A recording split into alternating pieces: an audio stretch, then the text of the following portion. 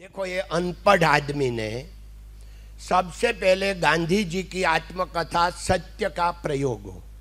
Experiment with the true वो मैंने पचपन साल पहले पढ़ा और मैं जो सत्य का मेरा जो हुआ, दृढ़ निश्चय, वो गांधी जी की आत्मकथा से हुआ। उसके बाद में मैंने मेरी ज़िंदगी में कभी भी नवल कथा नहीं पढ़ी। नवल कथा गलत नहीं है। उसमें बहुत ज्ञान मिलते हैं।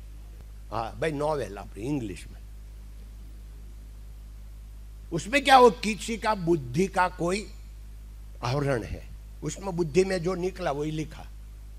ट्रू नहीं है रियलिटी नहीं है। और किसी की भी आज ऑटोबायोग्राफी पढ़ो, वो ट्रू है। सत्य है। और हम उनके जैसा बनना चाहते हैं, इसलिए मैंने अनपढ़ होने के बाद भी पचास से ज़्यादा मैंने ऑटोबायोग्राफी पढ़ा है, पचास से ज़्यादा। ऐसे तो मैंने more than one hundred book पढ़ी है। मगर ऑटोबायोग्राफी पचास से ज़्यादा पढ़ा है, क्योंकि उनके जैसा बनना चाहे